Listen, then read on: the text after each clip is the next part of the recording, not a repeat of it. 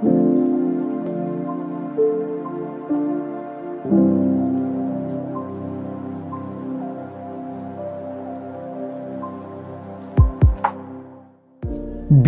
সবচেয়ে বিপজ্জনক দুর্গের তালিকায় জায়গা করে নিয়েছে ভারতের মহারাষ্ট্রের মাথেরানে অবস্থিত কালাভার্তিন দুর্গ।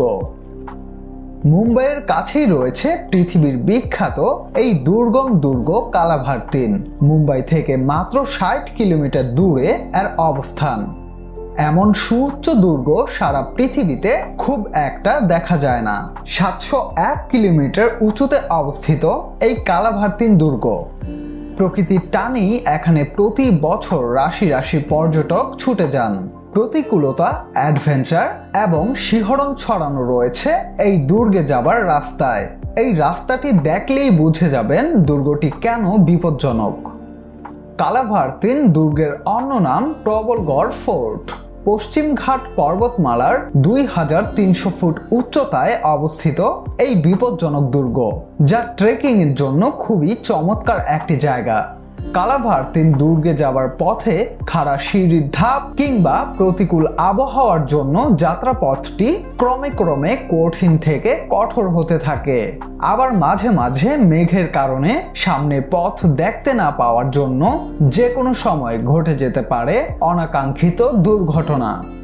পাথর কেটে কেটে বানানো হয়েছে সুউচ্চ সিঁড়ি। জায়গাটি উচ্চতার কারণে বিপজ্জনকও বটে। দুর্গ থেকে পাখির চোখে মুম্বাই নগরী দেখা যায়। জানা যায়, রানী কালাভারতিনের নাম অনুসারে এই দুর্গের নামকরণ করা হয়েছিল। অ্যাডভেঞ্চার প্রিয় পর্যটকরা এখানে যেতে ভালোবাসেন।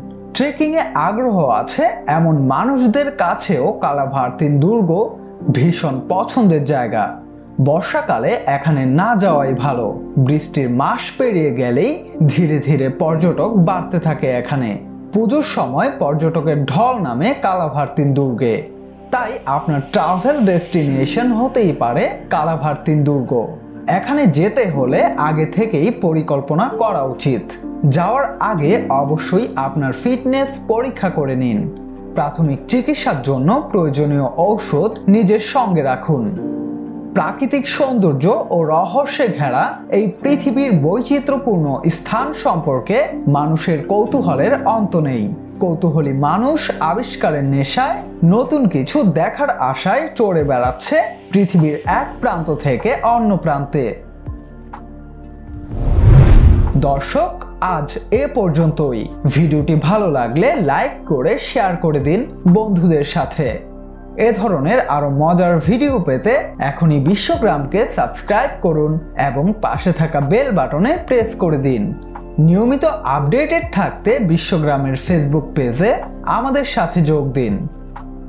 এতক্ষণ বিশ্বগ্রামের সঙ্গে থাকার জন্য অসংখ্য ধন্যবাদ।